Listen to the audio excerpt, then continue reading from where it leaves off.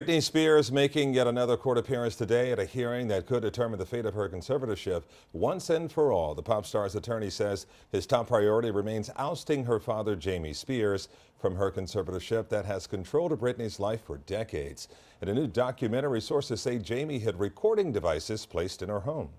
Her phone, her own phone and her own private conversations were used so often to control her.